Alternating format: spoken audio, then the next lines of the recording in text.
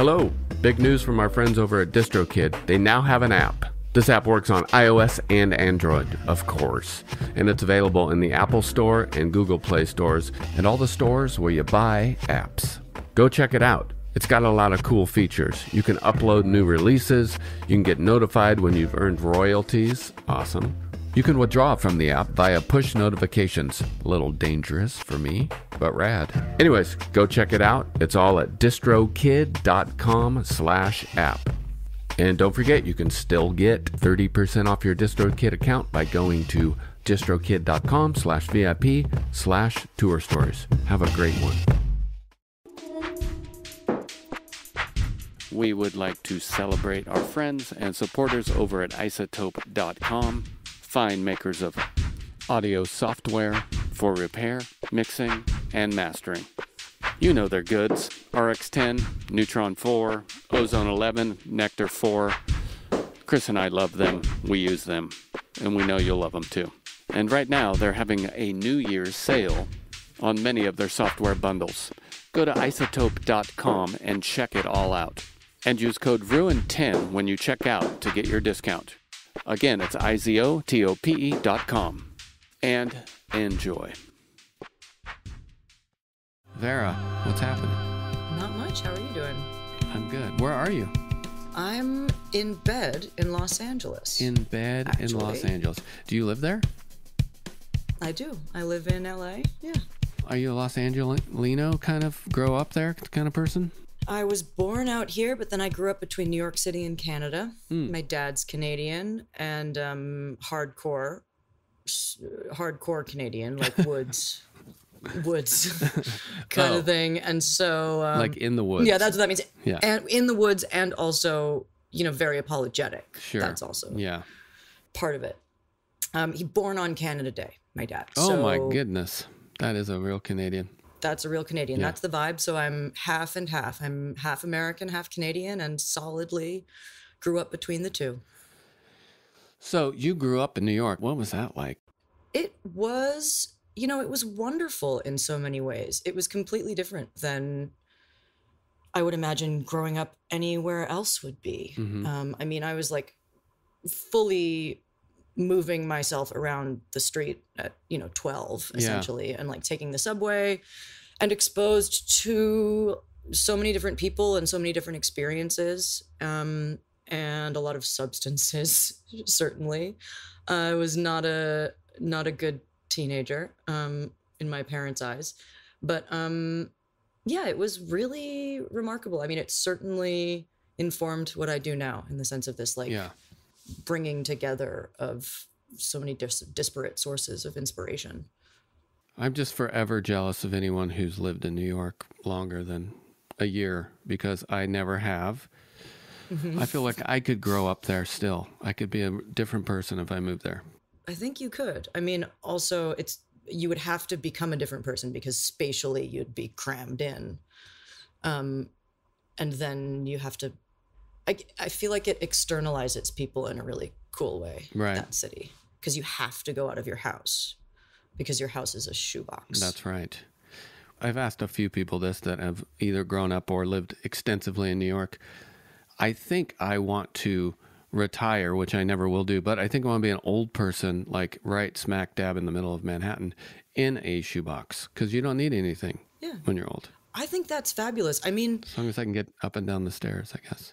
well that's that would be good for you the mobility it's good for good for your joints you know i think that that's a wonderful idea because people really slag on new york and new yorkers in the sense that oh it's really cold and people are really mean but i think that that's just a perspective Yeah. um you know i found people to be extremely loving and caring and helpful and um you know really look out for each other there especially if you foster a community as you have to do anywhere Yeah, like you can't just expect people to show up and care for you you have to give back that's right.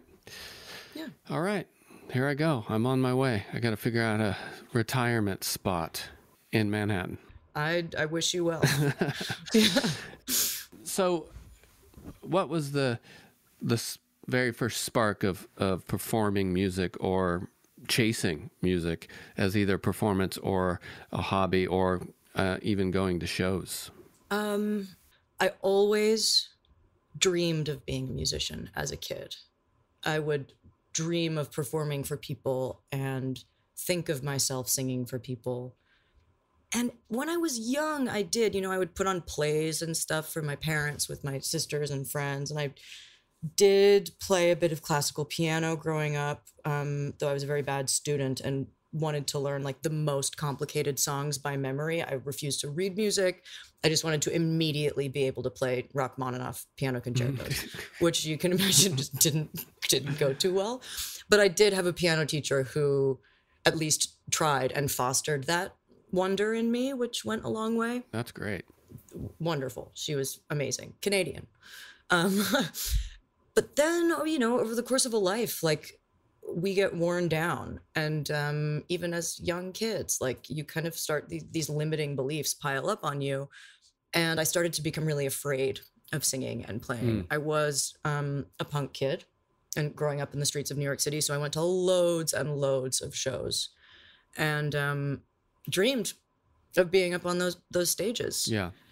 um, and then I started in college secretly trying, and I do say trying, trying to teach myself to play guitar and sort of writing songs kind of, but I I was still really afraid. And I had this wonderful poetry mentor who at one point came up to me and said, um, so tell me what do you do when you're not like in school? And I said, "Oh, I do this and I do that." And she said, "No, no, no, that's not that's not what I'm asking for." And I said, "Well, I secretly play guitar and I really want to sing." And she said, "Oh, that's what's going on. Your poetry is not it's it's not poetry. It, they're songs essentially. These are lyrics." Okay, And basically, yeah. she was saying that my words, I was failing with when it came to poetry. I was failing at writing interesting, good poetry, but I was writing songs. Yeah. Um, and so that was sort of a spark. But then again, just like never let myself. And then um, I reconnected with one of the, my oldest friends on earth, who's Elvis Perkins, Mhm. um, a brilliant songwriter. And we, I mean, I'd known him since forever, my entire life. But we reconnected romantically and as very close friends. And a little ways into our relationship, he approached me and said that he wanted me to play bass in his band. And I was like, absolutely not. Like, I've never, And you were just learning guitar or I mean, I was like, bare, I don't think I, I would have not considered myself to be able to play guitar at that point. right. I think I was clearly because he saw something in me. You know, we Yeah. jam and play together, and um, usually sort of different instruments than guitar and bass. But he said specifically that he felt that I had this sense of rhythm that he really Yeah. wanted on stage with him, and I was like, "Whoa, I don't think I can. I'm just not going to be able to do that." But I loved him so much, and I trusted him, and so I um, stopped i from the time i was 12 years old i was a super hardcore weed smoker like high from the time i woke up until the time i went to sleep hmm and i um in order to play bass i, I quit smoking weed and this is actually one of my oh, this will come back around but i quit smoking weed because i had to learn these songs Right, And yeah. elvis's music is complicated Yes, it is. like they're weird chords Yeah. and when you think it's going to go to a major it goes to some strange minor chord that doesn't exist it's like uh, you know um and so i ended up going on tour with him and um still terrified to sing though like literally Yeah. miming my backup vocals actually um Did the bass playing kind of come together? yeah i think so i mean i i hope so Yeah. um you know i was not i at that point i would say that i was really just delivering i wasn't playing music Yeah, right. i was just delivering what i needed to deliver but it worked Yeah. and then um a, you know a couple of years later uh i mean to be totally honest what happened is that like I stumbled into a plant medicine ceremony. Mhm. and um elvis and i went in together. I thought that it was going to be to like save our relationship. We were on the rocks. I was like oh yeah we're going to go in here. This is medicine's going to fix us. Hmm and um it did the complete opposite. It split us up. Oh wow. and it said to me that I needed to make a record. And I was like, okay, I don't know what how I'm gonna do this. and so I called our front of house or emailed our the longtime front of house who worked with the Cold War kids. That's how we actually uh, met him Right. originally. Was Elvis had toured um, toured with you guys at some point. The great and, Beeman. Um, the great Beeman, David Beeman, and I sent him these three like weird little demos that I'd made, and said, "I think I'm gonna." Um, I'd like to try and make like a really easy small EP hmm and he said, "Come to St. Louis. Would do it. It's easy. We'll do it in a weekend. It'll be so fun. It'll be great." And God bless David Beeman. That ended up being nine months of just absolute insanity because I it opened something up in me, Yeah. and I just walked in there, and I ended up making this sprawling, intricate record that I was so intense about and methodical about, and um, and he you know shepherded it basically all the way through. Um and then that was that and then somehow that little thing caught caught a spark. Yeah. and there i was however many years later you know playing on stage at the bowery ballroom where i'd seen my favorite people play and and that gives me chills to think about. Like i've been saying recently especially with regard to this record and like the line um basically that I make music for my 14 year old self. I make music for that punk kid All right. in the Walkman, Okay. in the subway Yeah. in New York City. Yeah. Well, I'm glad you stuck with that nine months. I could also I I could see it going another way, especially your first endeavor. You could have been like, "Fuck this," but you and you and Beeman did not do that. We did not do that. And it, part of it was because I knew going in that it just had to be me alone playing all of It was it? everything. Oh, you alone. It was everything. I played everything. Um, I made every sound on that record, and I think if I had had other people's input besides Beeman and like other people who worked in the studio, um, friends, that it could have gone the opposite way because I wasn't yet assured in my vision Yeah. and that process was so necessary for me to then be able to come back with this record and have 60 people on it or Right, however yeah. many and be able to say this is what i want and i know what i want even if it doesn't sound quote unquote correct Right. you know yeah And to this new record, uh, Peacemaker, which is a a beautiful, sprawling sonic adventure, and I, I like you to explain it, but for me, it's the combination of your words and the and the music and the sonic experience clearly illustrates kind of a a western uh, landscape, but it's got a lot of Cormac McCarthy pain in there. I, I hate to sound cliche, but it's it's not cliche. Look it's- at my back it's it's uh it, but there's beauty in all of that pain. Um and i'm just kind of wondering shades your last your first record it it is for me it's different. Shades is a really beautiful record. The thing that stands out on peacemaker is that there is a ferocity in this. And i'm just wondering where that came from how you made that shift because it's significant. I, I dug pretty deep into both records. And and to be honest at first i was like oh okay i see this style. But then it's it's a lot emotionally different for me. And um just kind of wondering where you were when you started writing this peacemaker Yeah, I mean, it's interesting you say that. I think a great interview that I did toward the end of the touring cycle with Shades, someone said that in the course of, you know, performing these songs, I'd gone from Dido to Medea. Right. You know, like great mytho- mythologically.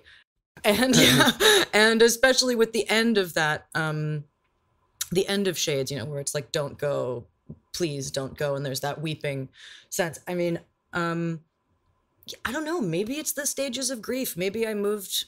Maybe it's part of that. It's like moving from grief, moving from this sadness into anger. hmm You know, a lot was going on in my life. And I love that you bring up Cormac McCarthy. I can't remember if that's even in the press materials, but um, Blood Meridian was my favorite book growing up in high school. Um, I wrote a really wild paper on it that definitely changed the trajectory of my my life in the sense of my like writing style and the way that I think about words. Um, and that sort of pretension, for lack of a better word, like this bigness and verbosity yeah which I can't escape from. That's me. Um, but Emotionally, yeah, you know, I went through a lot. Shades came at a really difficult time in my life and Peacemaker too. I mean, a lot of those songs were actually written before. Um or not a lot of them, but some of the key ones like Instrument of War, which I consider to be this like the thematic centerpiece of the record, mm-hmm. even though it's the end. That was one of the earliest songs I ever wrote. And I tell people now, like, I don't think I'd have the balls to write a song like that now. That squarely comes from beginner's mind. And sure. But you know, I've always had this sense, this like I was born with this rage in my body as a kid. I was an angry kid, but I wasn't allowed to express it. Mm-hmm. As many you know we're not really allowed to express anger we get we don't learn how to healthily express anger in in the west right really anywhere anymore um, especially women and so i guess the process of singing has always been for me and making music a form of alchemy essentially of working with these emotions to be to find a way to transmute them into something positive and so I guess the emotion that I was really working with here was anger, and it was anger on my uh, personal anger. It was transpersonal anger. It was global anger. Mm-hmm. Yeah. Um, you know, we've all been through so much. I mean, it's been four. I've been working on. I was working on this record essentially for, um, you know, through 2019 and even into 2020. Oh, okay. Um, not like hardcore. We'd tracked most things uh, by the time that COVID hit, but still, there was, you know, I was able to infuse some of that just what is going yeah, on yeah into that yeah. you know yeah yeah and and uh, it's funny uh, well it's not funny um, but it it it's actually a, a, positive thing. I was driving today and um, i was you know thinking about talking to you and there's something that stuck with me that's a John Lydon lyric, and it's I mm-hmm. think he, it may be the only lyric in the song, and he just says anger is an energy, and I kind of caught on to that as a older teen, but I took it in a pretty positive way, not even a pessimistic way which yeah. I also think pessimism can be positive too. But I'll just stick with anger for now. Um, but yeah, it I, that's kind of what I I latched onto, you know, as I was listening to uh, the record in the car today. That anger for sure is an energy, but I think just saying that can put some positivity to it.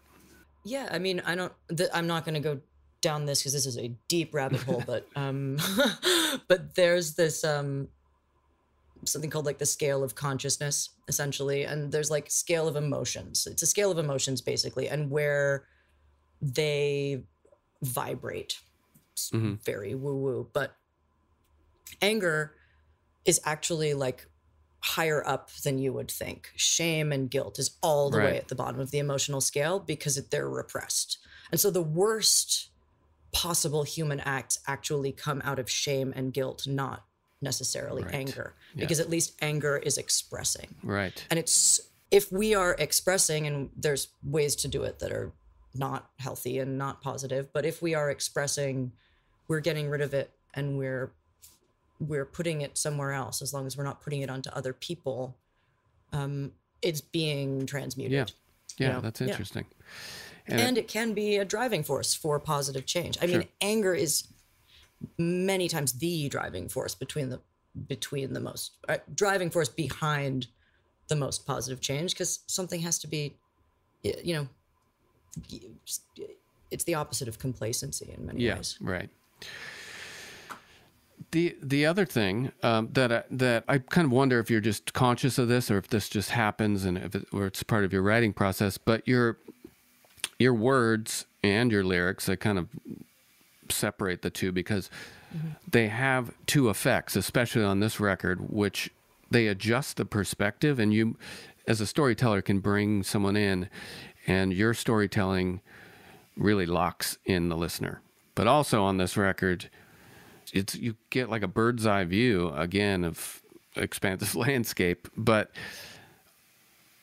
did that did that just happen? Are you aware of that? Uh, or maybe you don't even feel that because you're subjective but that is my experience with the record. It's you could zoom in and out depending on the piece you're listening to. Absolutely i mean i'm aware of it. I don't do it consciously in my Yeah. writing. My writing really does pour out of me. Um but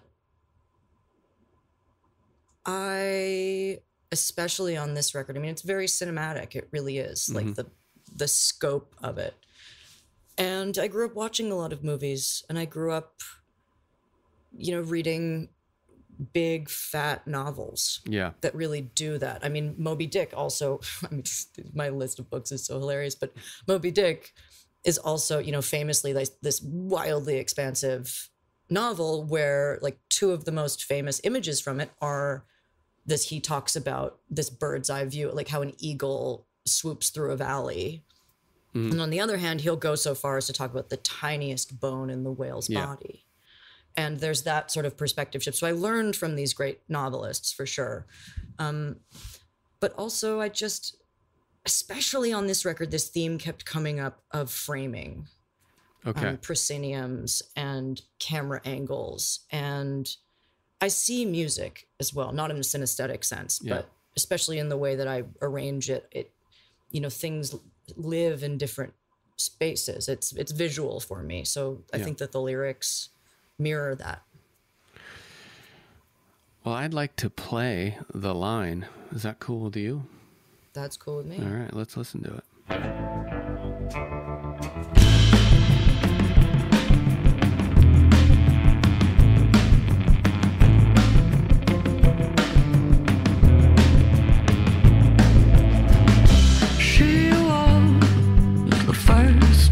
go. I'll be back for you. The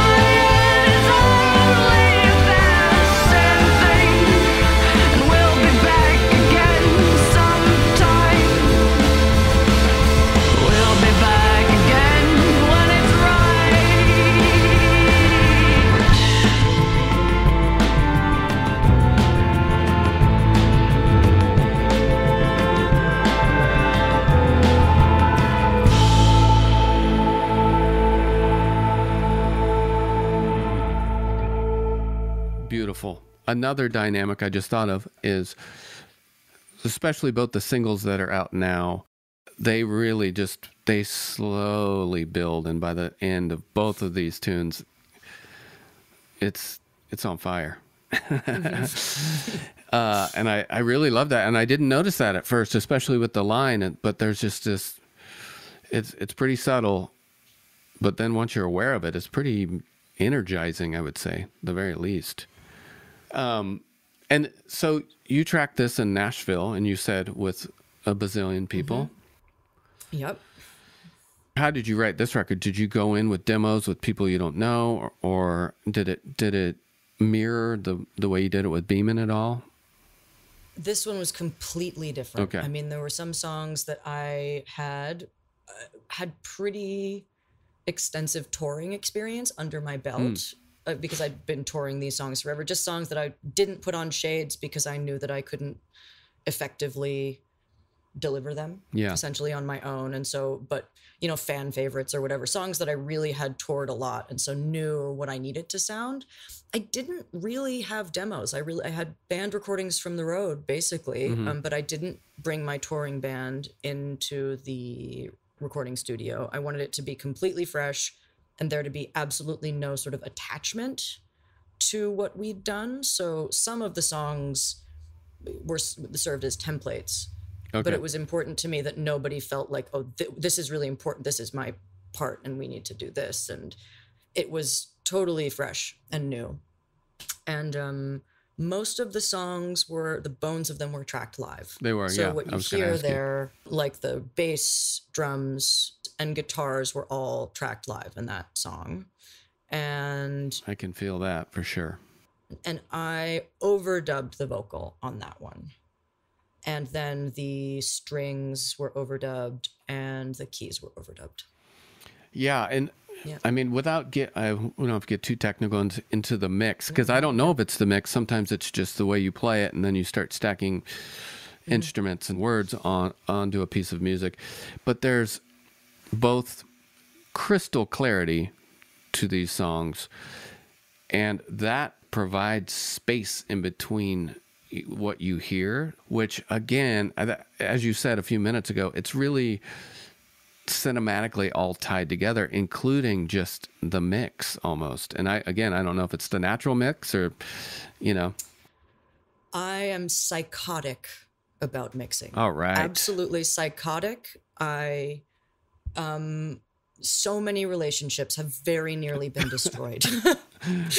and um, actually, a number of people tried to mix this record Uh-huh. and really did try and ended up coming back to me and being like, you have to do it, essentially. Um, so I worked with my partner and producing partner um, on this record, Kenneth Pattengale. He um, sat at the computer and made the moves, and I was an absolute dictator Wow. behind him. And it was funny. I mean, even my at, at the end, and I don't think they'll mind me sharing this, but at, like when I signed my my record deal with City Slang, they came to me and they were like, "Okay, we absolutely love everything, but we want to remix the record." And I was like, Whoa. Good luck, guys. like, good luck. This is like two and a half years. You should see the sessions. The Pro Tools sessions are maniacal. Yeah. I really should um, that sounds get fun. some screen screenshots of those so that you can see because I'm there like the panning is that's what I, I mean Kenneth would do the moves but I would be there drawing the little things and I know nothing about I, I have no technical background Right. in music. Um it's just pure intuition. Um so I'm really happy thank you for for bringing that up. And I'm glad that you he- hear clarity there because my goal with all of it is always to balance that clarity with that the blur.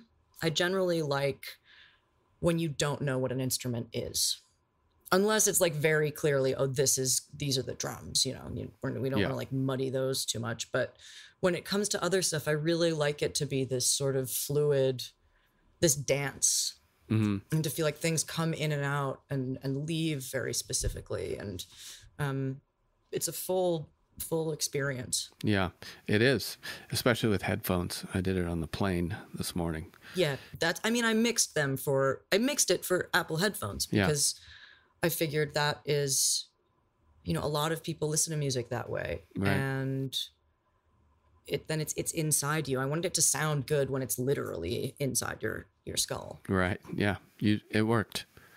Um do you remember recording The Hands? Oh, that's my favorite song on the record. My favorite song.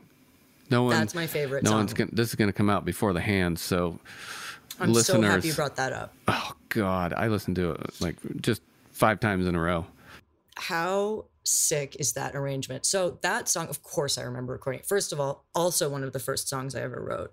I wrote that on piano in my old apartment in New York, and um, it was originally this kind of like rolling piano Mhm. thing with this sort of Satie esque, like stilted, kind of like creepy Igor vibe Mhm. on the Yeah. keys.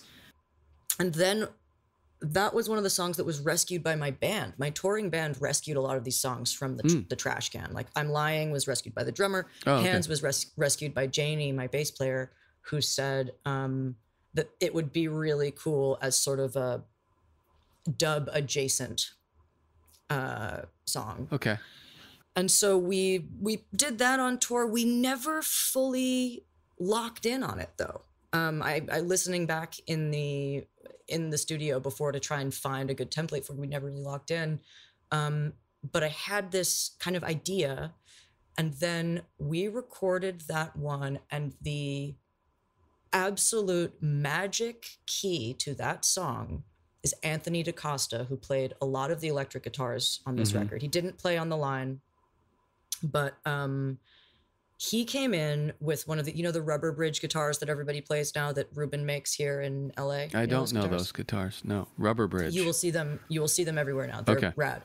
But he came in with a rubber bridge baritone. I want to say Yeah. I might be wrong about that.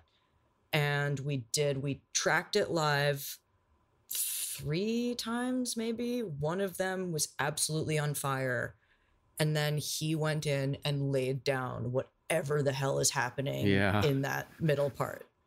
And um, it's gorgeous. it's my favorite. It's my favorite thing on the. I like. I wish Yeah. that I wish I could just go out and sell sell that to Yeah. the people. There's you know, moments. like- I mean, I kind of visualize percentages of songs. Mm-hmm. I can remember about 75% what's going on in that song, like right Mm-hmm. now.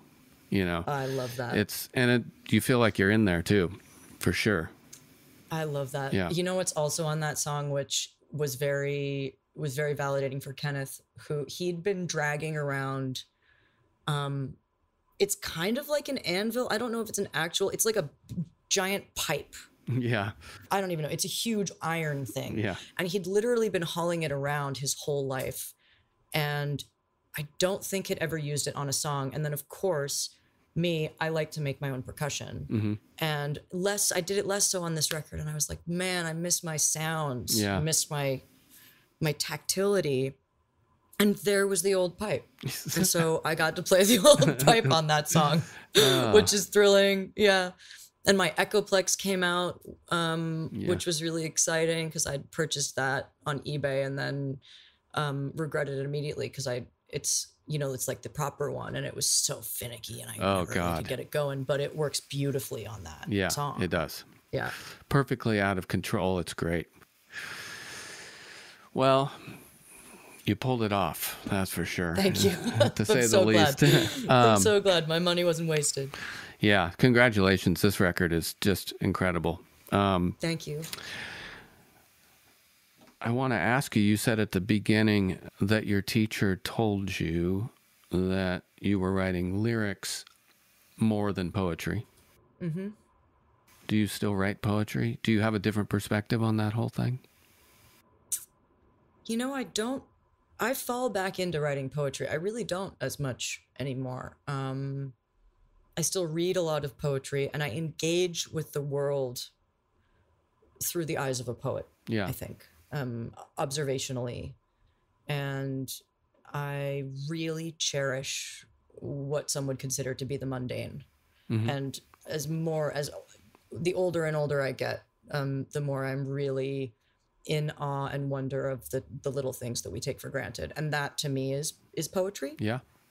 Um, But I need to get back into writing poetry. I think that I have a great book in me somewhere.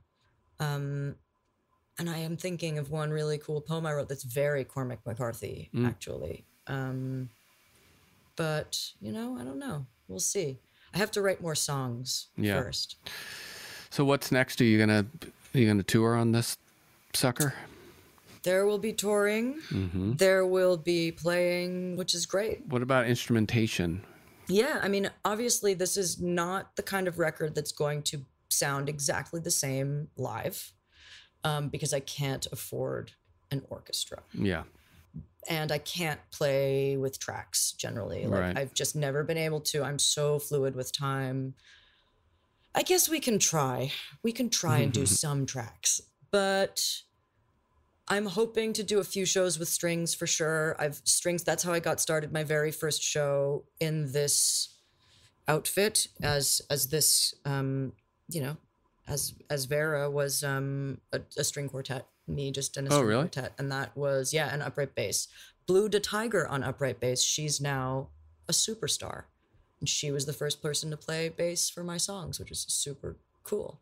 And uh, yeah, I mean, I don't know. I'd love to play strings. I like playing solo. Oh, you do. Um, I do. Yeah. I pack a lot of power. My actual my, my guitar technique doesn't even really come through on this record, but I play very specifically and um, and uniquely. And I really liked surprising people with with the power of just me on stage. Yeah. But um, I think Kenneth and I are going to do some duo guitar stuff, which will be rad. Yeah. And yeah, and then we'll have some full band for sure. Cool.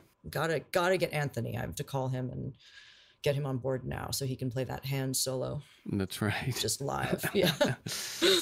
All right. Well, when you um, get out there, travel safe. Thank you. And congratulations again. This record is fantastic. It comes out the day after my birthday, February Great. 2nd, 2024. Happy birthday. Yeah, thank you. Thanks for making a record and releasing it right after my birthday. Well, thanks for giving it some airtime. Sure, of course. Giving me some a, a reason to talk about it, and with such for such wonderful questions. They aren't all wonderful questions Oh. when you go out and do these things. You know, Oh, thank you. I appreciate that. I'm trying. Um, doing great. Okay, well, take care of yourself and thanks again. It was nice to talk to you. Nice to talk to you too. Thank you so much, Joe. All right, bye. Bye bye.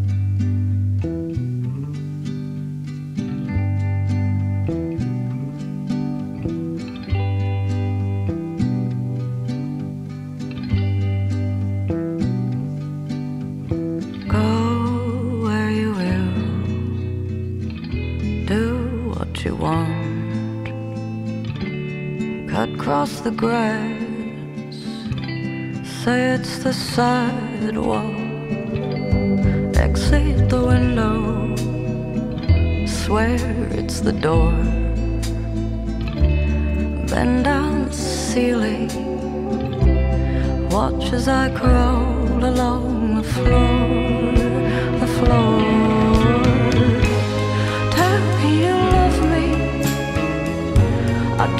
What you say. Just get it together. It's all okay. Piss on my back. Tell me it's rain. Then expect me to stay.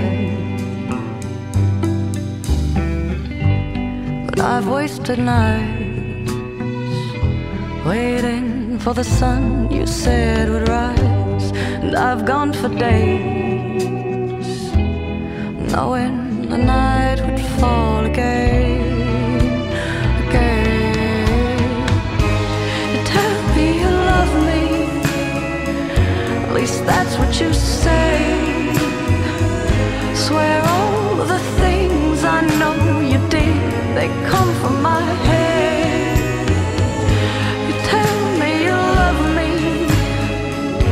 it must be okay. Just getting together, believe what you say.